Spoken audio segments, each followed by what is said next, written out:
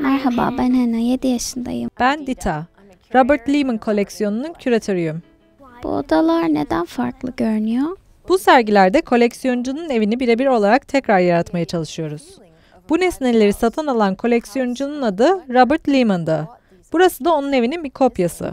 O yüzden bu özel ve eşsiz bir sergi. Peki oradaki resmi kim yapmış? Bu ünlü İspanyol ressam Goya'nın bir resmi.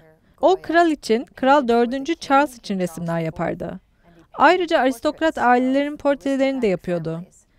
Buradaki anne ve çocuk portresi Altamira ailesinin dört portresinden biri.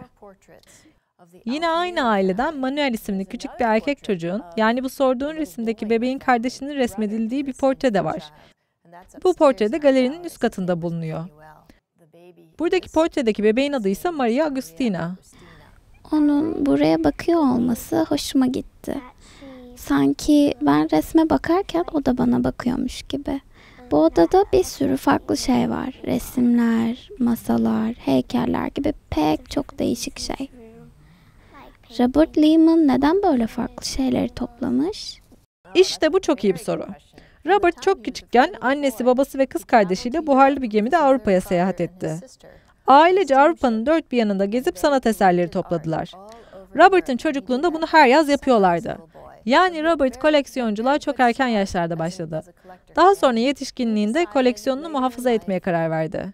Metropolitan Sanat Müzesi ile anlaştı. Koleksiyonunu müzeye bağışlayacaktı ve müzede onun koleksiyonunu, onun evini yeniden yaratmak için kullanacaktı.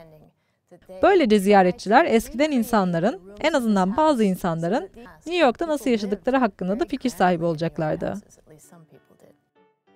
Metropolitan Sanat Müzesi sana boş bir galeri verseydi, sen içini hangi sanat eserleriyle doldururdun? Hena'nın galerisinde neler olurdu? Sanırım ben galerinin içini Pablo Picasso resimleriyle doldururdum. Pablo Picasso'nun resimleriyle dolu bir galerin olsaydı bence çok sayıda ziyaretçin olurdu. Peki galerinin duvarlarını hangi renge boyardın? Hmm, fıstık yeşiline boyardım. Fıstık yeşili mi? Şahane. Galerin için kaç tane güvenliğe ihtiyacın olurdu? Sıfır. Sıfır, wow.